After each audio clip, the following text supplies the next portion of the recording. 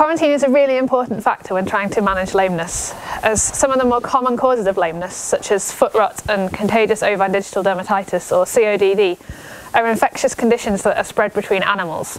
So when you buy in sheep from other farms, you're at risk of introducing either the disease as a whole or a new strain of the disease into your flock. It's therefore really important when you buy in new animals that these animals are kept in isolation away from the remainder of your flock for at least 28 days before you introduce them.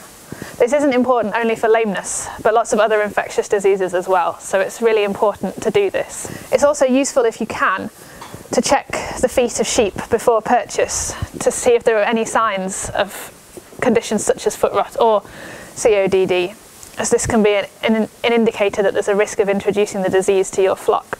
One of the most important risk factors for introducing CODD onto a farm is purchasing of new animals. So it's really important that you consider this when you're buying new animals. It's also important to remember that if some of your own flock leave the farm for any reason, for example, to go to another show, or if you've got land elsewhere, or whether you use land that other people graze, that when these animals return to the main flock, they should also be quarantined before you reintroduce them, as they could also bring disease with them.